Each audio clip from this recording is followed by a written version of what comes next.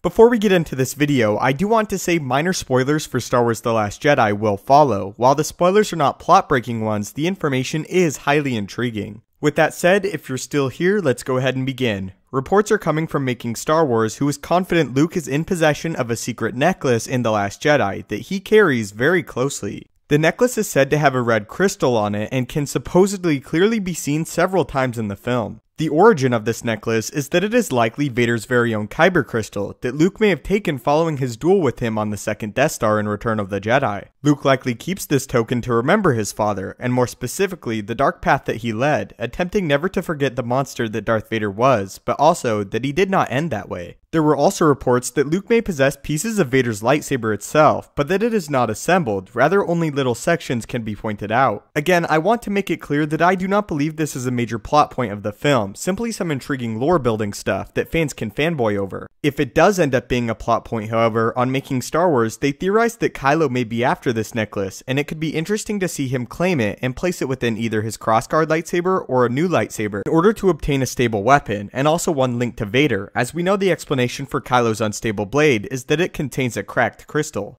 Overall, I love this idea, and I absolutely think it's something Luke would do. An interesting thing to point out, however, is in Star Wars Aftermath, a group calling themselves the Acolytes of the Beyond, which we now know eventually become the Knights of Ren, purchase what they think is Vader's lightsaber with intentions of destroying it. However, the book does go out of its way to make a point that it may not be Vader's lightsaber. It is still something worth discussing though. But now I would love to hear what you guys have to say concerning Luke and keeping his father's lightsaber crystal. Like I said, I think it's a fabulous idea, and part of me doesn't want it to play a major role. Just a hugely exciting piece of the mythos that, in my opinion, fits perfectly. Luke keeping the Kyber crystal tells us a lot about him, and stylistically sounds perfect for Luke's overall design. A scene where Rey asks Luke about the necklace would also be intriguing to see. I do want to say I think Luke is in possession of this more because it was his father's, and that is the connection he has with it, rather than it perhaps being a sign of a darker Luke that some have suggested it being. If we look back to the Jedi of old, they did actually keep Sith artifacts, as they believed they were best protected